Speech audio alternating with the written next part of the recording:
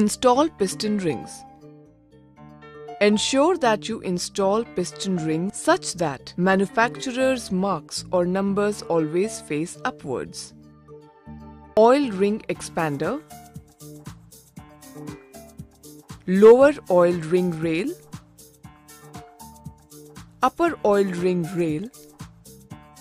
Second compression ring. Top compression ring Offset piston ring and gap from the exhaust mark on the piston as shown. Remember, always install piston with the arrow mark on top facing towards front. Lubricate piston pin with engine oil.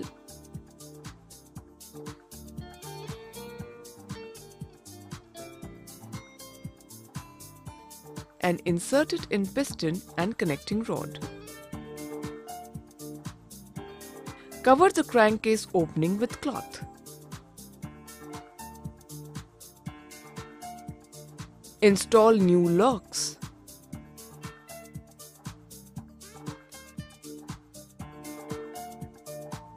Remove the cloth.